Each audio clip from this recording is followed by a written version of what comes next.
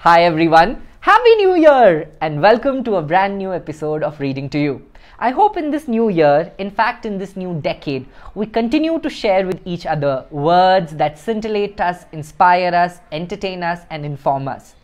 Reading to you के इस episode के नए साल की शुरुआत मैं करना चाहता था एक ऐसे लेखक एक ऐसे पोइट के साथ जिनका नाम उर्दू लिटरेचर में एज अ जूल कंसिडर किया जाता है।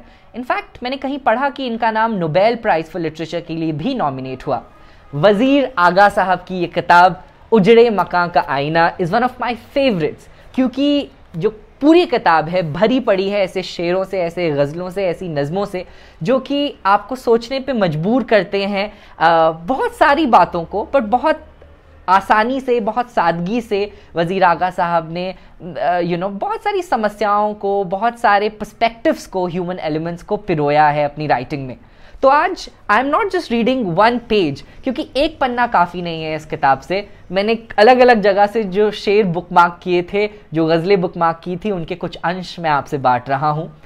तो पहला शेर, जो मुझे बहुत पसंद है इस किताब से, वो कुछ ऐसा है कि है तुझे शौक कि मिलना तेरा आसान न हो? है तुझे शौक कि मिलना तेरा आसान न हो? कट के दुनिया से मगर इतना भी सुनसान न हो। कट के मगर दुनिया से इतना भी सुनसान न हो। लग चुकी है तेरी गिरदाब किनारे कश्ती। अब कोई फ़िक्र न कर, अब तू परेशान न हो।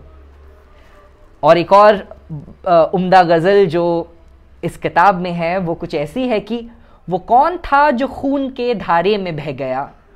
वो कौन था जो कि खून के धारे में बह गया? जख्मों की एक बाढ़ सी चेहरे पे सह गया।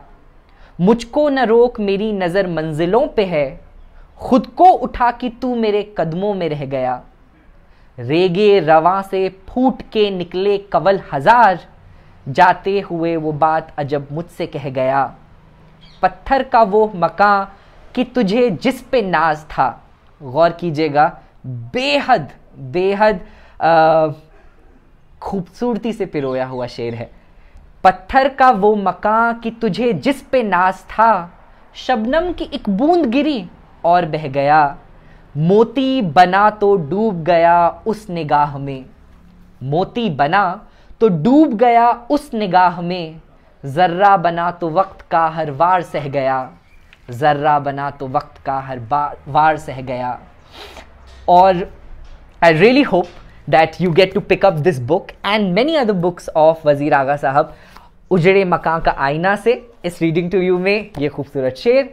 I hope to get more recommendation from you and I wish you a wonderful twenty twenty filled with words, reading as a habit and most importantly, in the cozy comforts of thoughts and ideas presented by some of the biggest minds of human civilization.